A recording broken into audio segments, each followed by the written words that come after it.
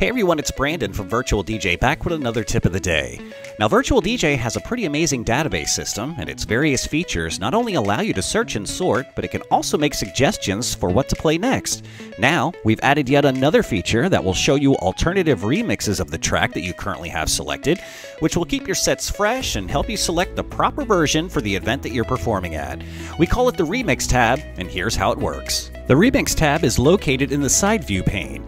Now if it's hidden, you can show it by clicking on the side view options button and enabling it to be shown. Once enabled, click on the tab to show the remixes pane. Now, use the browser as you normally would, and when you highlight a track in the Center Track browser section, Virtual DJ will search for alternate remixes of the selected track from our massive content audio catalog and display the results in the remix pane. You are now no longer limited to playing the same edit of the track during your set over and over. With the power of Virtual DJ's new Remix tab, you are free to be creative and select the perfect remix to fit the scope of your event.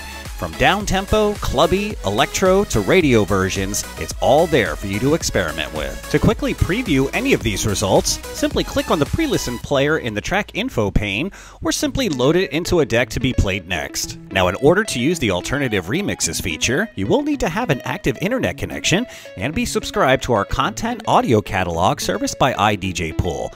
If you're not already a subscriber, you can easily do so by clicking on the Settings button, then click on the License tab, then click on Subscribe to iDJ Pool button, and fill out the web form to get started. Additionally, you can also change the alternative remix results to a different catalog provider by clicking on the Remix pane Options menu button. You can choose from other content providers like SoundCloud and Deezer, provided you have a premium membership with those services. The Remix tab can also be set to show other compatible tracks by clicking on the Options button and selecting Show Similar Songs to Selected Song. Now, when you highlight a track in the browser, Virtual DJ will display a list of similar tracks to play from our content catalog populated by DJ playlists from all around the world.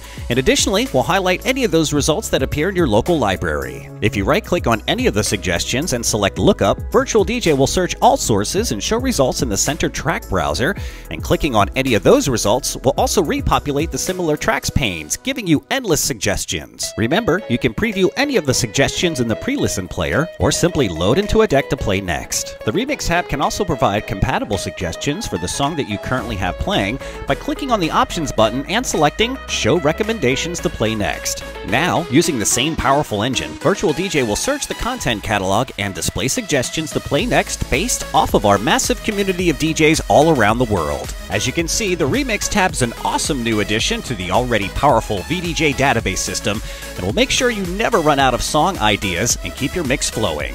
That'll do it for this tip of the day. We hope you found it helpful.